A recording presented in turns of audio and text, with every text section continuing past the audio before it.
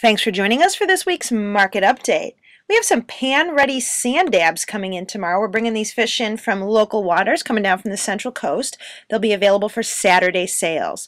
Pan-ready means the fish has been headed and gutted, the tail's been removed, and the skin's been taken off of one side, making it pretty much ready to cook. Call your Santa Monica seafood sales rep today if you're interested in getting some sand dabs in. All right, those sand dabs sound like a fun uh, local item to get on your weekend menu. Two other Pacific standbys are on special right now, so call tonight for great pricing on both fresh rockfish and yellowtail. Good options for the weekend. Another great option heading into the weekend is fresh onaga. We just got another shipment of this awesome deep water snapper in. Customers love seeing those exotic items that aren't always available on your specials menu, so call your sales rep if you're interested in some onaga for tonight.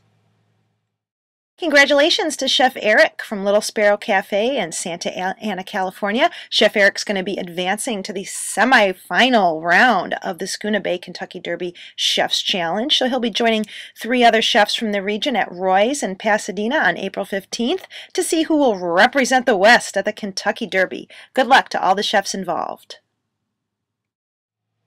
And speaking of salmon, we do have beautiful wild caught Oregon Troll Kings in the house. If you're looking for a wild salmon option for your weekend menu, this would be a great seasonal specialty. These fish are individually landed, just incredible quality, worth every penny. And one more salmon note for you. Loch Duart is experiencing some sizing issues this time of year. It's something that happens uh, every spring. So just be aware that if you're ordering Loch Duart salmon, you're going to be seeing some smaller fish for a while. Check in with your Santa Monica seafood sales reps. If you have questions, questions on the Loch Duart salmon. And we also want you to be aware that whitefish is extremely limited right now. We know it's a popular item, it's a great spring fish, but spring is also a troublesome time of year for fishermen as they deal with some weather issues there. So if you're looking for whitefish for the weekend, please check with your sales rep on, avail eh, on availability. And a reminder that Mother's Day is just about one month away. If only it was this easy for mom to make dinner. It's not, however, and that's why Mother's Day is the most popular day of the year for families to dine out.